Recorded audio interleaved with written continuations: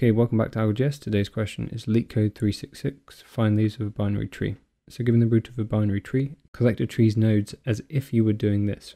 Collect all the leaf nodes, remove all the leaf nodes, repeat until the tree is empty. So the first stage is to collect all the leaf nodes, which is 4, 5, and 3 in this case.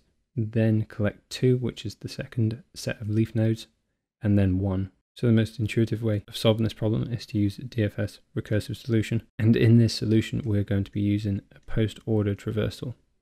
And this is left, right, root in terms of the ordering of the nodes that we visit. And the reason we do this is because we want to get the child nodes to begin with.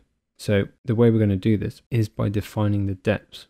So the first depth within a post-order traversal will be this depth, and this will be set as zero then this will be 1 in terms of depth, 2, and then with the right side of post-order traversal, this depth is going to be 0 as well, because this is the deepest level within the right side of the tree. So the trick of this question is, how are we going to store all these values in order?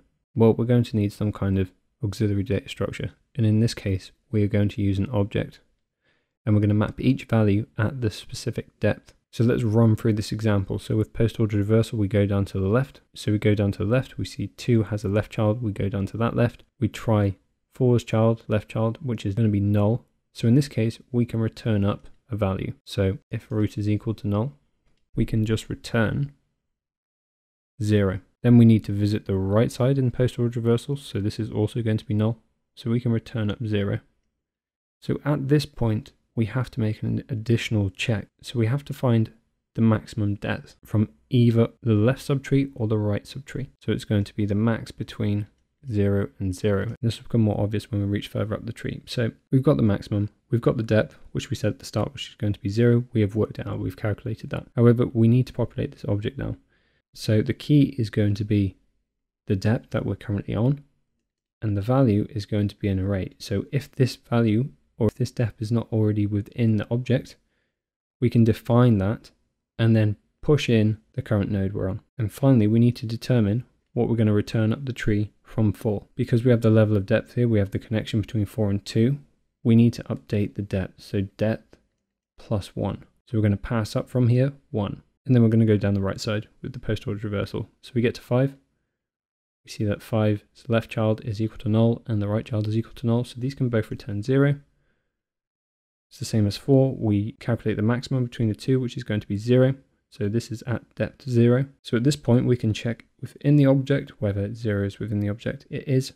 So we can push in 5 within the array. Then we pass up depth plus 1, so 0 plus 1 to 2. We work out the maximum at 2, which is going to be 1. 1 is now the key. So we said that 1 was going to be the depth at the start. So 1 is going to be the key here. We're going to create a new array. And we're just going to push that value within the array. Then we pass up depth plus 1. So we're going to pass up 2 to node 1. But before we visit node 1, we need to go down the right hand side.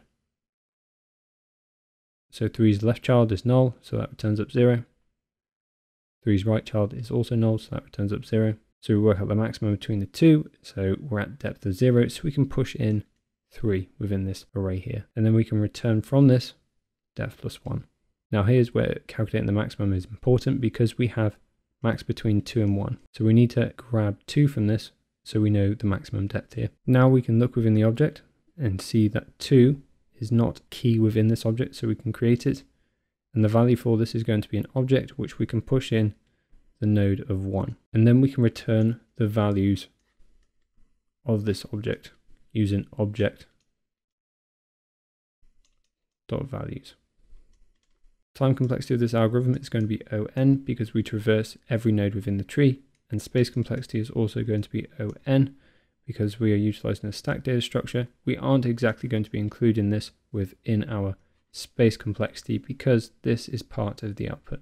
Okay, so let's first define the res object. We're going to need a function called DFS and we're going to pass in root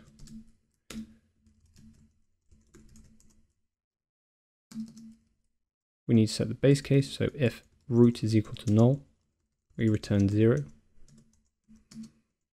Then we do post order traversal.